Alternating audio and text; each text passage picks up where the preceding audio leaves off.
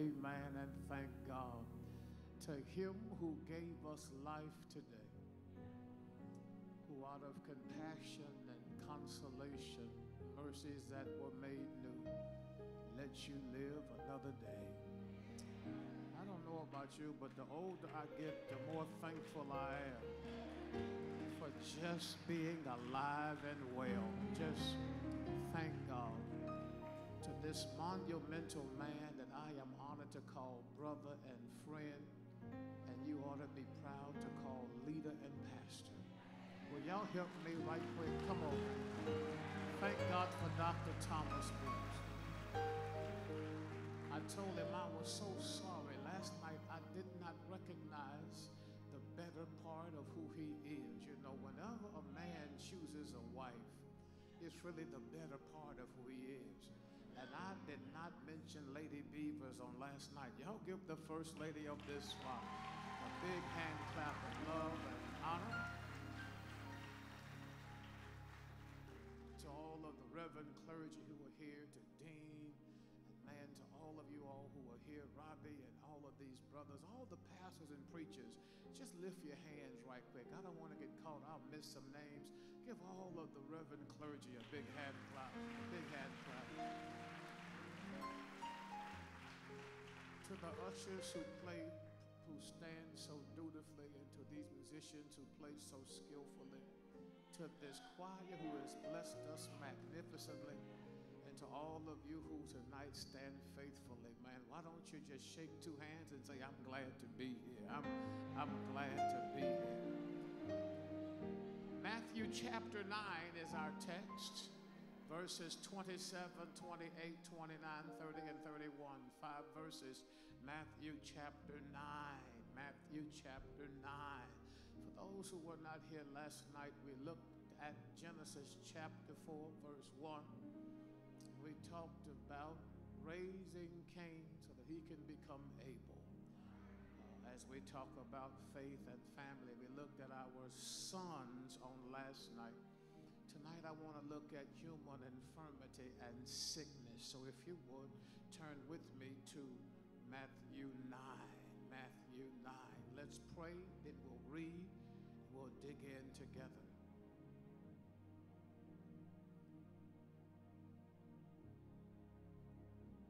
Let the words of my mouth and the meditations of my heart be acceptable in thy sight, O Lord, my strength and my redeemer.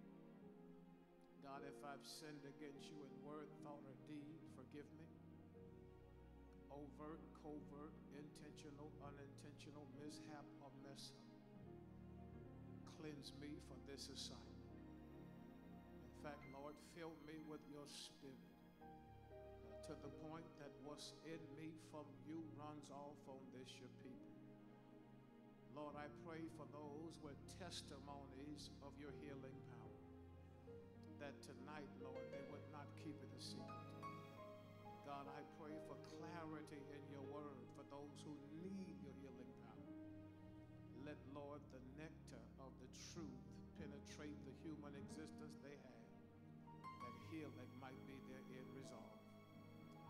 Guess what I'm really praying, Lord, is this have thine own way. Fix this moment so that it satisfies you. And God, if you're happy, we promise to be pleased with the outcome. It is in the name of He who lived, died, rose, reigns, and will rule eternally. The name Jesus, I ask it. Amen. Matthew 9, church verses 27 through 31.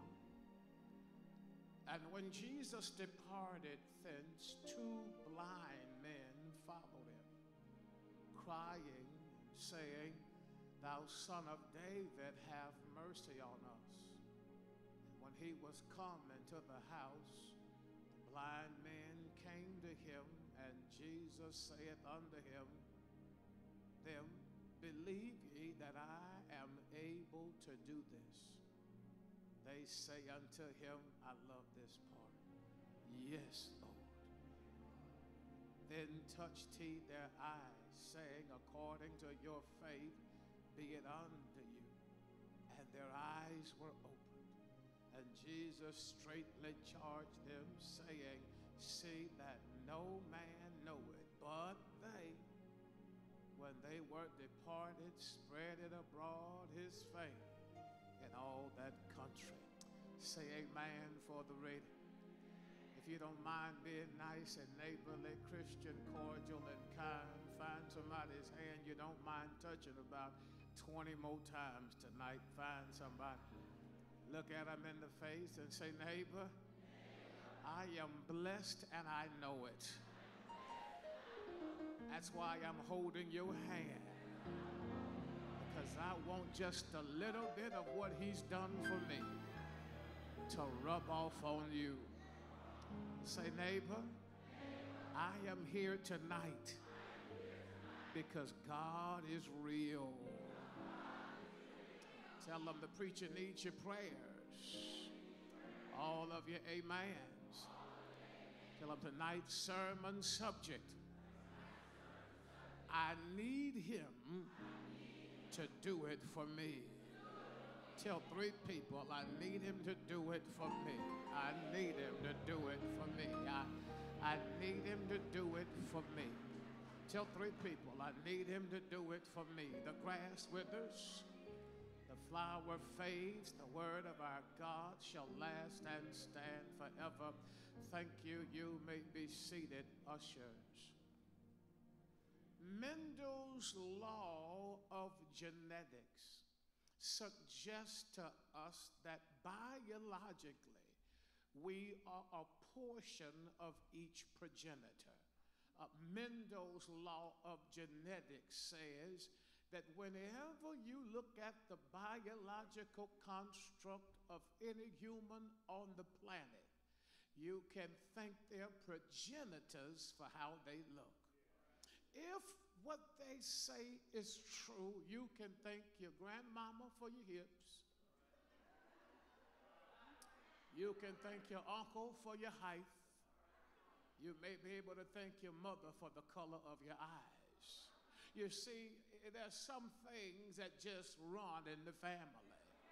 There's some blessings that just come along with the territory. Others can hate and not appreciate it, but the truth is, your granddaddy was handsome, your father was handsome, and handsome just runs in your family. You, you, you don't have to apologize for being cute. Your great grandmama was cute. Your grandmama was cute. Your mama cute, cute. Just good sense just runs in your family. God help me. There are certain things genetically that we're inclined to possess. But let me just say this quickly not all of those things are good. There are some things that come through family lineages that have been a part of the genetic construct a long, long time. High blood pressure just runs in the family. You don't eat pork, stay away from beef, drink plenty of water every day, and still your stuff is just as high as a kite pushed by high winds. And it's not that you're obese, you exercise, it's just some things that run in the family. I began here tonight in our discourse because not long ago, Dean, I ran across a member of our church where breast cancer and female problems just ran in her family.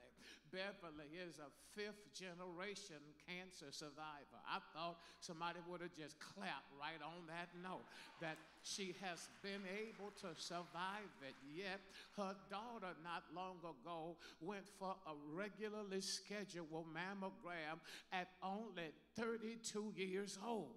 And when she came home from the doctor, she had to tell her mother they found some They scheduled her for the much dreaded biopsy, and she had to wait some two weeks to get her note to discover that, the, that what they had pulled from her left breast was malignant. Fear fell over them. And so her mother got in touch with her grandmother and they set her down at the kitchen table with cups of Starbucks. Can I just mash pause right quick?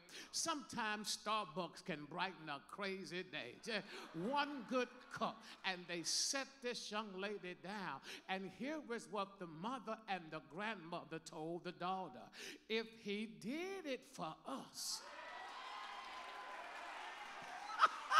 I'm going to shout right now. Hey, y'all, this is my whole sermon. This is the whole thing. If he did it for us, and she cut him off and said this I need him to do it for me. Ladies and gentlemen, tonight I stand before a group of believers who are related in more ways than one. It's why our ancestors made certain we got to know the people in our family. Because you might be dating one of your cousins. But I am standing here tonight to simply declare before you that God is still a healer that God is the God of every genetic construct known to humankind. And if God could heal your mama, and if God could take care of your grandmama, God can take care of you. Ladies and gentlemen, come with me hurriedly to the text because in this text we witness the Lord doing it. Hold on, ladies and gentlemen. If you ever want to shout yourself, just read through Matthew chapter 9 because the whole chapter says one thing Jesus did it. Wait a minute. Let me teach it to you. So, watch this. We're in a city called Capernaum, it's the village of Nahum. And the Bible says, Dr. Beavers, that these four men bring their friend to Jesus to be healed of the palsy. For those who know the story from Sunday school, you know that we don't know what his name was, we don't know how much he weighed, we don't know whether he had a good attitude or a bad attitude. But here's what we do know they brought that joker to Jesus. And when they got to the house, ladies and gentlemen, because Jesus was inside, the house was packed. It was a good time for them to say, dude, we'll catch him next week sometime. We heard he gonna pass back through. But they were desperate, so they climbed up on the roof and started tearing the shingles off. They lowered him down to Jesus, and I just love this part of the story because Mark tells us Jesus looked up and said, Because you've got some crazy friends with crazy faith, I'm going to forgive your sins and heal you. Ladies and gentlemen, we know this. He was toted in and he walked away. Y'all don't know when to shout. Okay, listen. He was packed in, but he strolled off. I don't care what you tell me, Jesus did that. When you read Matthew chapter 9, it's more and more exciting because Jesus runs into this dude named Matthew who's collecting taxes. Uh, ladies and gentlemen, he's the worst sinner of them all. He is a traitor, a hypocrite, a backstabber. He works for the government and they can't touch him it's bad. But Jesus says to these men, this one man, two words, follow me. I don't know about y'all, but can I put a pen in here and shout for me? I'm glad Jesus doesn't just choose clean, crispy, holy, extra nice people. I'm glad he picked some of the worst of us some tattoo packing, gold teeth wearing, pants sagging. I'm glad he doesn't just pick the deacon with the clean suit. He says to Matthew, Follow me. Oh, ladies and gentlemen, here is what I can guarantee you Jesus did it. And then he has enough nerve to sit down and have dinner with publicans and prostitutes. It's why you ought to be happy, ladies and gentlemen, that God has a table just for you sits down, and the folk from the religious sector, the Pharisees and Sadducees, peep Jesus eating with these unholy folk, and then ask his disciples, Why does your master kick it with people like that? Dr. Beavers, Jesus has good hearing. He hears what they say and then throws them a curveball low and outside. Here's what he says If you're not sick, you don't need a doctor. I didn't come for the righteous, I came to call sinners to repentance. I wish I had somebody in here that's a sinner that the Lord didn't save you and you know it. But just tell somebody, I ain't always been in church on Thursday night, you know. Just, the Lord had to work on me. Can I go deeper down and further in? Watch chapter 9 because Jesus is now leaving there and is confronted by a gentleman whose name is Jairus. And Jairus comes to the Lord and says, Listen, my daughter is at home sick. She's about to die. Jesus takes off walking for Jairus' house, and some unknown woman grabs the hem of his garment who's been hemorrhaging 12 12 long years. Don't you like miracles on the pass by? You know, if Jesus just passes by, that's good enough. She reaches and grabs his garment, and when she grabs it, he feels virtue go out of his body. He turns around and says, Who touched my clothes? The disciples are slow, they never catch on. They say, Jesus, it's a bunch of folk touching you. But the Lord said, No somebody touched me like for real. It was a desperate touch. And he turned around and saw her on the ground. Here's what he said Daughter, thy faith hath made thee whole. Ladies and gentlemen, I don't know what you say to God if you go to him sick and leave well. But here's what I got to tell you it wasn't the doctor that healed you, it wasn't the cream you took, it wasn't the pill you popped, it was Jesus that did it wait, hold on, wait, wait, wait. He gets to Jairus' house and the daughter is dead. And so here's what happens, Dean. He walks in with the mama and the daddy and a couple of his disciples, a good little posse. When he gets in, he says, Why are y'all making all of this noise? They say, Because the girl dead. And Jesus tells them, Hold up, that's from your perspective, not mine. I have to throw this in the gumbo as I'm making my rule. When you need healing, you got to watch whose perspective you look from. You got to be careful not to look from a stupid person's perspective. Everybody that's talking don't mean you always good, and some folk who mean good don't know what to say. Jesus says, Hold up, she's not dead. Sister is taking a nap. They begin to laugh at her, Reverend Robbie, and Jesus does something that the church ought to do every now and then. When it's somebody in your family that needs healing, you ought to put folk who don't believe out. Okay, this is a good part. Anybody need healing tonight? Look at your neighbor and say, Do you believe this stuff or don't you? Because you can mess up my whole miracle. I don't want to sit by nobody tonight who got doubts and fears. I want to sit in the crazy faith section. I want to sit next to somebody who will say, Come though what may, I still trust him. Where y'all at? Listen, ladies and gentlemen. He leaves that house and begins to walk to another. Listen carefully. And two blind men follow him. I like this Dr. Beavers because he asked these blind men a question. He said, Do you believe I'm able to do this? And they shout these two words Yes, Lord.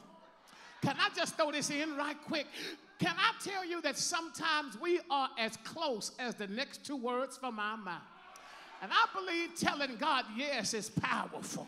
For those who need Him in your family tonight, you ought to just throw up your hands just right quick and just shout, Yes, Lord. Yes, Lord, to your will. Yes, Lord, to your power. Wait, hold on. It's right in this text, ladies and gentlemen, because it's so rich. He then, ladies and gentlemen, touches them and says to them, You're going to be well. And the Bible says their eyes were open. Come here. This for the folk who like to read the Bible. So if Jesus heals these dudes, which one is necessary for their restoration? His touching or is talking.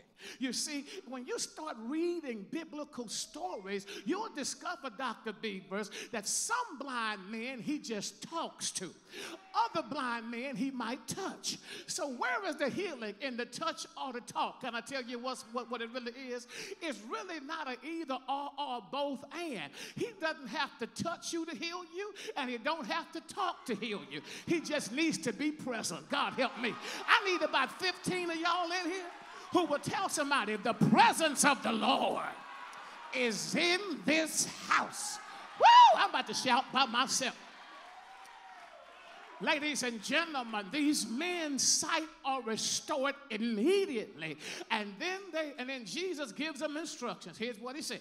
Don't tell nobody. Hush, zip it closed, because I'm in a region that doesn't like me. Hold your peace, keep it down, don't tell. But when the Lord has done some stuff for you, you can't keep it to yourself. You have to tell somebody he did it just for me. I'm here tonight because somebody in your family needs to know what God can do. And God left you alive for you to be a walking, talking billboard of what grace looks like. If you've never been sick, you've never had surgery, you've never woke up in recovery, you've never had an ailment, an ailment or an infirmity, I'm gonna catch y'all next year. But if you have ever been sick in your body, if you have ever been down and you had to have surgery, if you've ever had a moment where you were sick and couldn't fix it, stand up right quick. And I want you to grab somebody by the hand and tell them if he did it for me, he can do it for you. Find one neighbor's hand and just say, He did it, He did it, He did it, He did it, He did it. Hey! Be seated, be seated.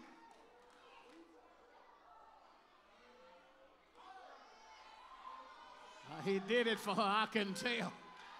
Uh-huh.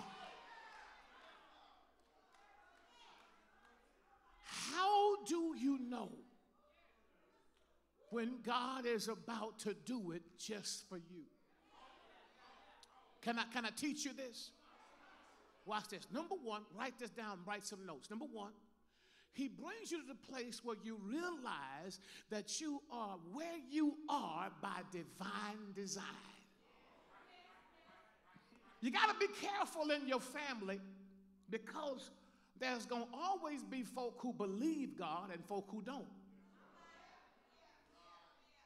And what happens is when you need healing, the folk who really don't believe this stuff will tell you stupid stuff that you don't need to hear. See, here is the truth. Listen to me carefully. God is still a healer. Did you hear that? Let me try this. All healing is from God. I don't care how you got well. If you got well, God did it. God help me.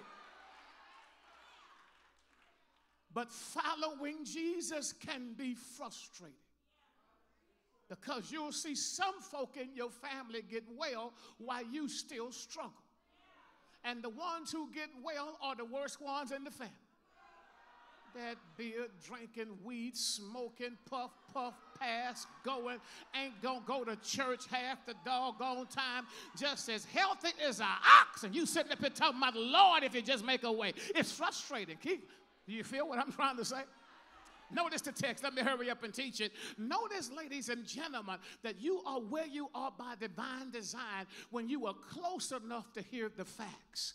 Friends, these men are blind, but they can hear. So they heard about Jairus' daughter. They heard about the one with the issue of blood. They heard about the man who was on the mat. They were hearing about all of these miracles, but they were still waiting on God to do it for them. Can I please throw this in the soup right quick? If you can only shout for what God does for you, you don't have much of a worship for God at all. Sometimes you ought to be thankful just for stuff God has fixed in other people's lives. Okay, wait. We've been shouting all night long. But I want us to do this one with purpose. Tell your neighbor, this shout is just for you. This is for stuff God has fixed in your family. This is for healing God has restored your family from. This ain't even for me. This one is for you.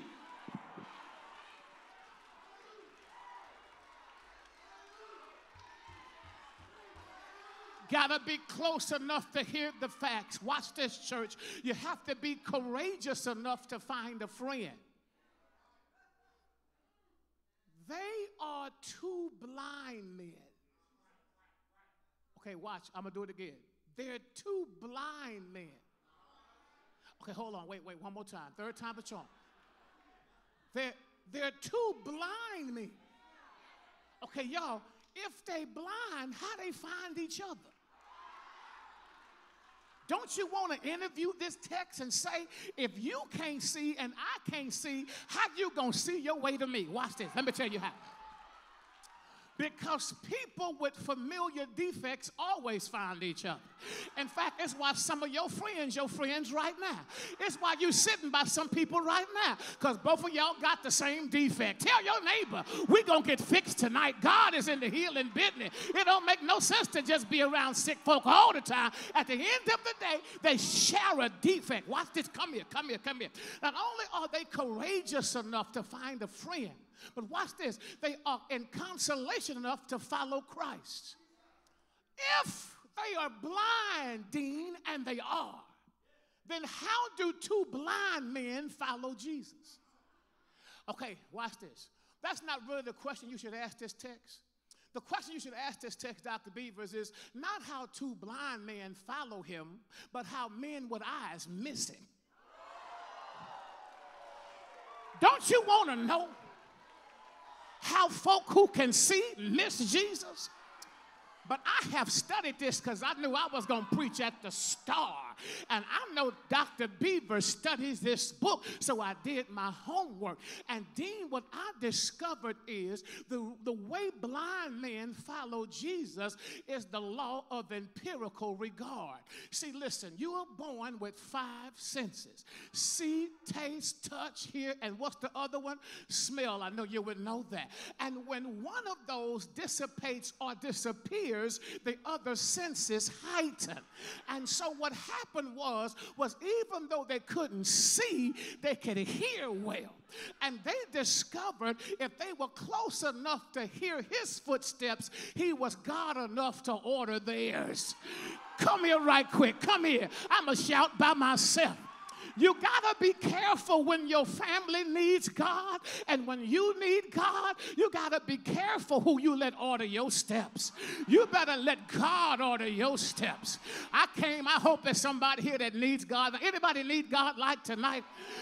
Trust him, the Lord, with all thine heart, and lean not unto thine own understanding. And all thy ways acknowledge him, and he shall direct thy path. I will look to the hills from whence cometh my help. My help comes, I'm just trying to order your steps. My help cometh from the Lord who made heaven and earth. The Lord is my shepherd. I shall not want. He maketh me to lie down in green pastures. He leadeth me beside the still waters. He restores my soul. The Lord is my light and my sa- I'm just trying to order your step. The Lord is my light and my salvation. Whom shall I fear? The Lord is the strength of my life. Of whom shall I be afraid? Lift up your heads, O ye gates, and be ye lifted up, ye everlasting doors, and the King of glory shall come in. Who is the King of glory? The Lord strong and mighty, the Lord touch your neighbor. Say, neighbor, let him order your steps. Whoa!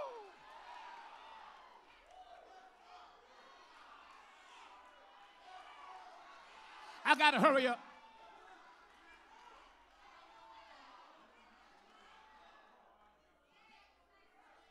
You're where you are by divine design. God has you right where He wants you. It's not like you have forsaken God. It ain't like you've turned your back. God says, wait, you're right where I want you. Watch this. Can I go further down? Watch this. Number two, not only you realize that where you are is by divine design, but you got to recognize that God can do it, but He ain't going to fix it your way. Uh, there are some things run through families, and I'm glad theology runs through mine.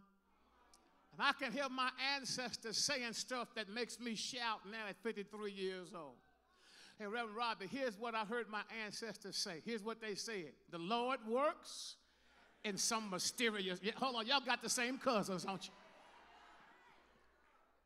This text, ladies and gentlemen, was one I did not equate to faith or family because of how it flowed.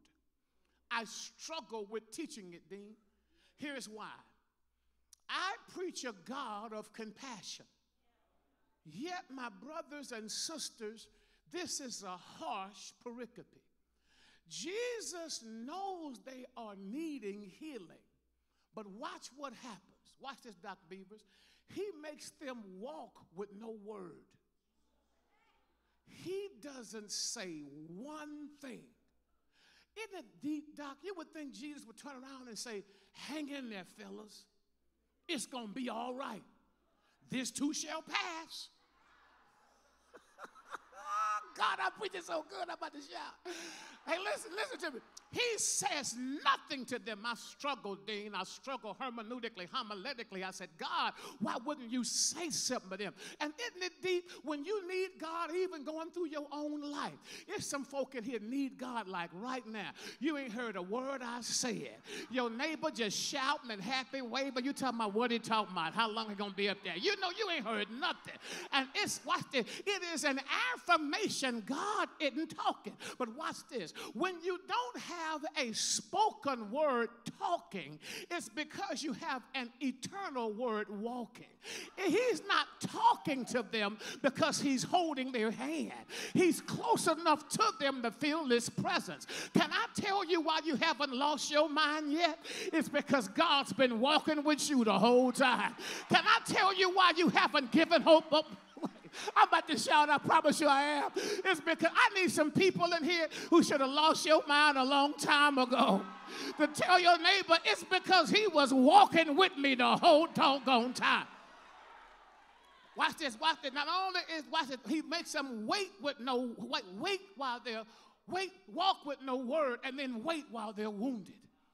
He lets their woundedness remain. But you have to ask this question why? Because God gives every infirm person in this particular pericope a chance to do two things. Y'all ready? To receive what he has and recognize who he is. Uh, let me start with recognize who he is. They cry out, Jesus, thou son of David have mercy. Wait, hey, wait, wait, hold on. Y'all, you can't get happy about son of David unless you don't understand the fact that this is a messianic attachment. That this is not just some idea that says he's from Nazareth, it is an ideology that says he is more than just a man, he is the Messiah, he is the root of Jesse and the seed of David, he is the promised son of Almighty God. He carries within his human construct the hypostatic union of God and humanity, that he's God enough to heal me and human enough to understand me. And when they cried out, Thou son of David, I believe it was something that moved the heart of God that made the Lord say, Healing is about to head their direction. But wait, and only they recognized who he was, but watch this. They literally cried out for what he could give them. Ladies and gentlemen, I hope I can get through this one section of this sermon. Because every time I get here, I shout. Listen, I'm trying to hold it right now. See, they cry out for mercy, but they're blind. See, y'all missed it too. They don't say, Hey, Jesus, give us eyesight. They don't even do that. They cry out, Jesus, have mercy. Hold on. See, y'all don't know when to get happy. If they're blind, why are they not asking for eyesight? It's because if you get mercy, you get it all.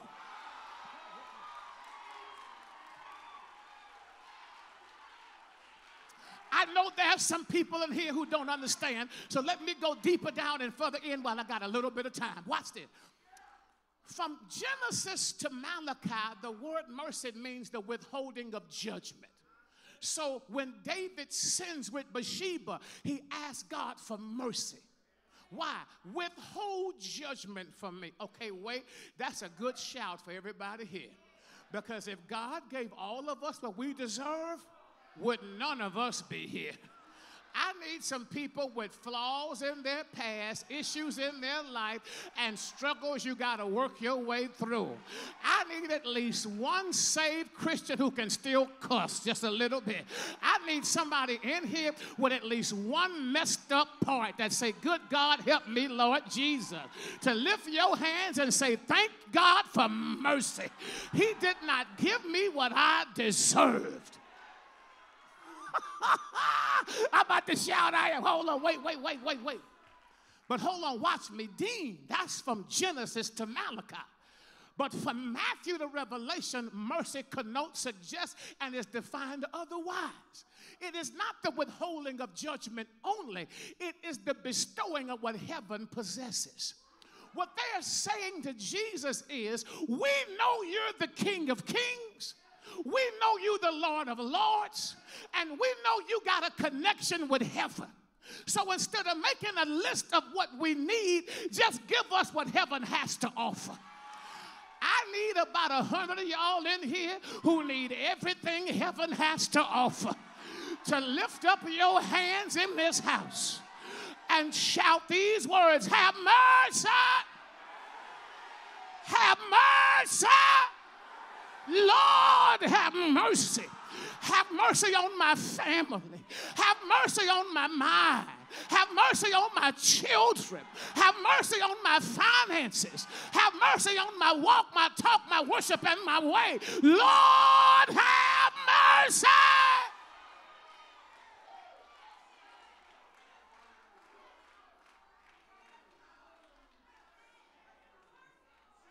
Uh, I don't know how much time I got. Hey, watch this.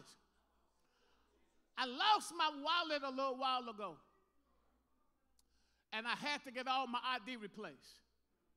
I didn't realize how important a social security card was because I have had one since I was 16.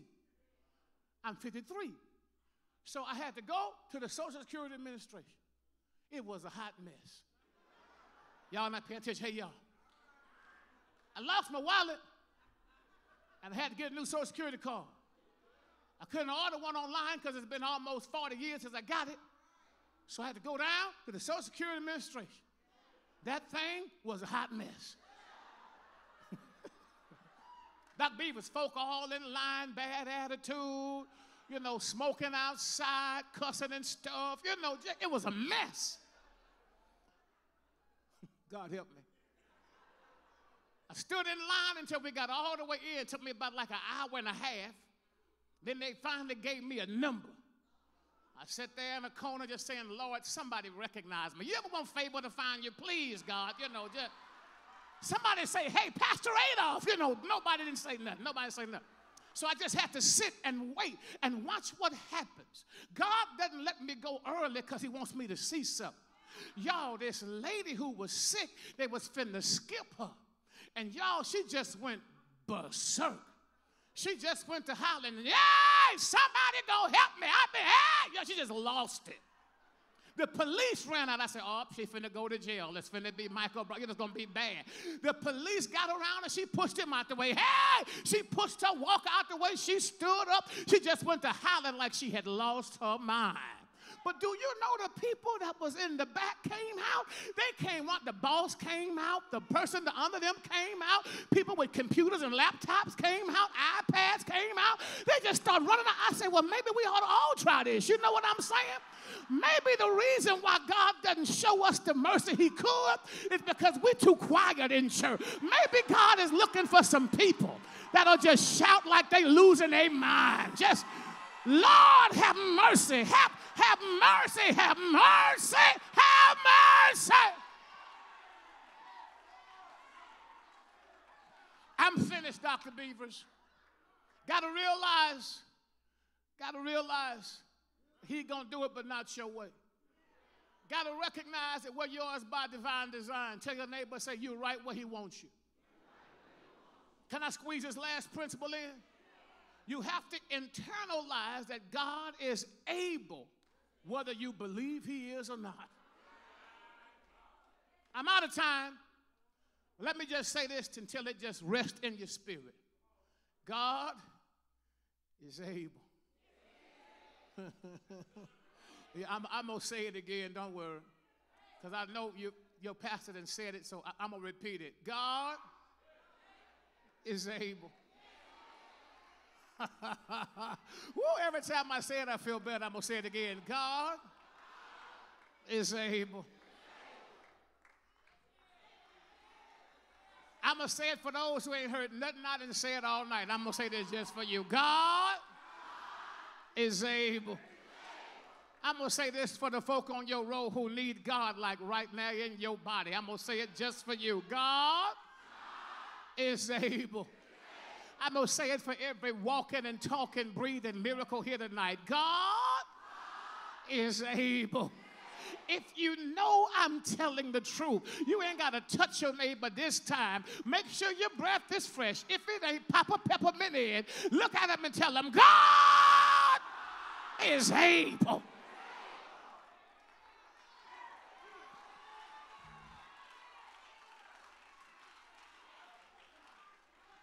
Dr. Beavers, look at the, how this text concludes, and I'm finished. The Lord asked these two blind men a personal interrogative.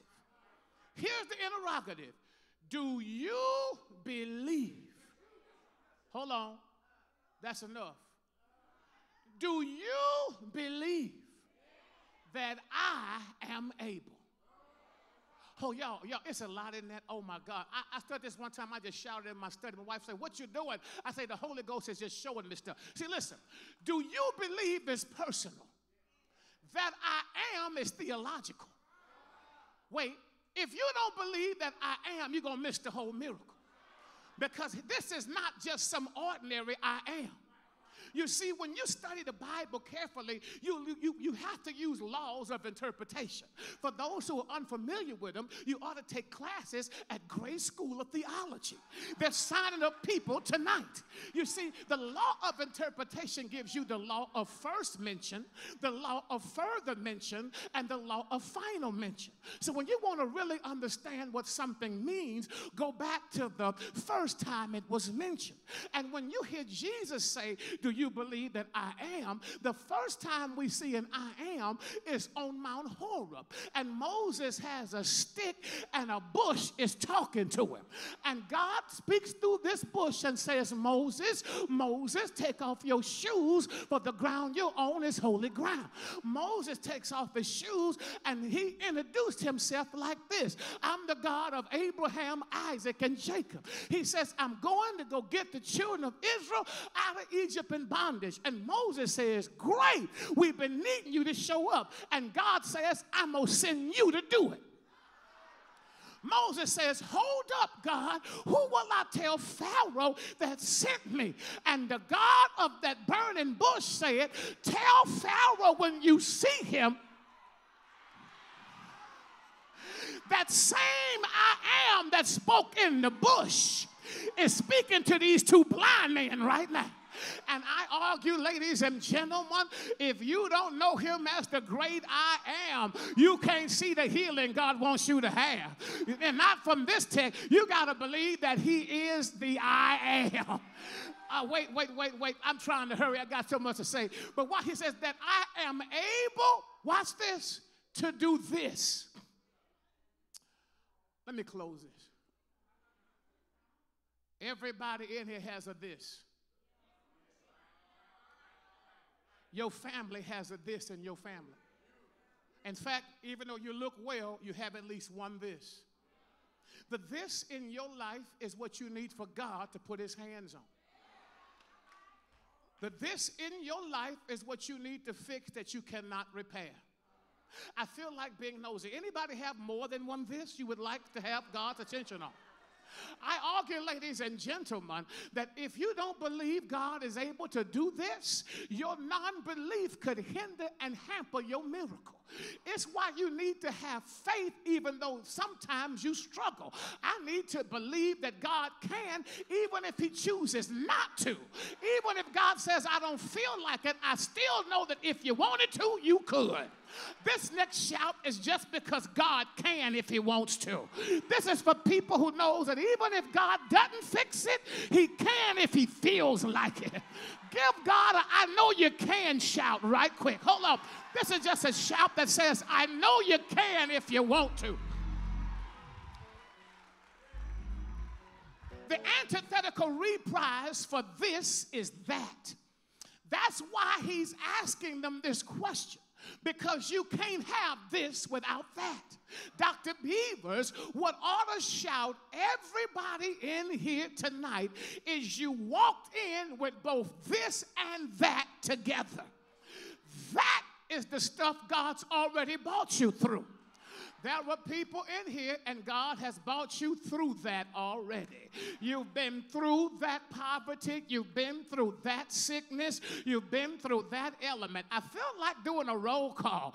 If you've ever been through moments of sickness physically that puts you in the hospital, leap to your feet. You've already been through that. And if you are here today and you've ever been financially distraught, didn't have a dime, and now you got multiple accounts all around you. Jump to your feet. You've already been through that. And if you've ever been lied on, talked about, and misunderstood, and you didn't do nothing wrong, jump to your feet. You've already been through that. And if you've ever been let down and disappointed by people you thought you could trust, leap to your feet. You've already been through that. And if you've ever lost a job and God paid every one of your bills, leap to your dog doggone feet. You've already been through that.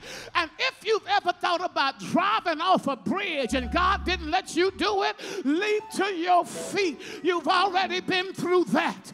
Then take your right hand and wave it like you love God and tell God, Thank you for bringing me through that. The shout of the night is that if God brought you through that, you know He can take care of this. Ain't He all right? Is there anybody in here who can testify that God brought me through all of that? Where's all of that in here? Do I have any all of that folk back there? Any all of that folk up here? Any all of that folk over here? Shake a neighbor by the hand. I said, find somebody's hand. Hold your neighbor by the hand and say, neighbor, he brought me through that.